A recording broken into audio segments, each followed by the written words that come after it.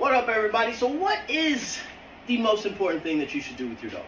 In my opinion, it is building the dog's confidence because no matter what you want to do with your dog, if you want to do protection work, if you want to do agility work, if you want to do dock diving, if you want to do nose work, if you just want to take your dog with you to Starbucks, they have to be confident. They have to be secure about themselves. So building confidence is probably the most important thing. And that is a lot of different ways. So one way that I like to do it is we like to use the pool. We put some water bottles in there and we grab some treats and we get the puppy because you see right right now, he doesn't want to go in there. He's going to do everything to avoid this because he's a little startled by it. So what we're going to do is we're going to teach him, hey, there's nothing to be worried about. So when he gets a little closer, I'm going to reward that. And then we're going to have him get a little more close and we're going to reward that. And the more the dog understands that you're not going to put him in a situation where he's not going to be successful, that dog is going to gain his trust and gain confidence in you. You ready? So start with a nice easy one. Good boo, yeah. Make it a little harder for him.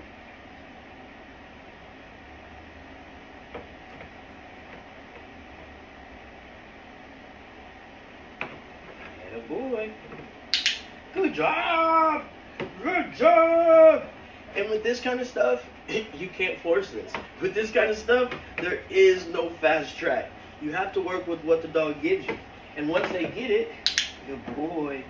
Get you another. Yeah.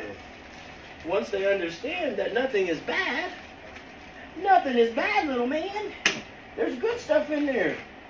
Then they start figuring out, oh, I can do things. And this is what you want. You want your dog to know that they can do things on their own. And this is a process. So this first time, he may not even get in the pool. But I'm not worried about that because we're taking our time and we're building this dog. And you've heard us say the expression before, brick by brick.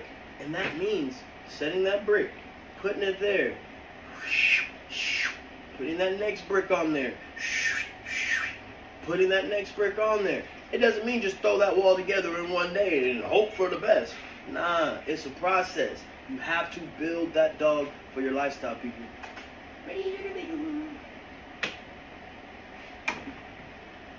Okay.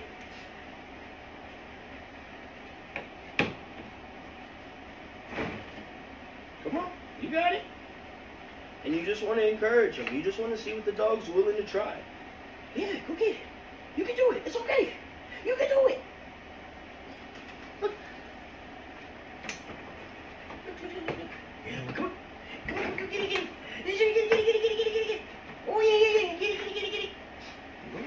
Oh. Oh. Oh. Oh. Oh.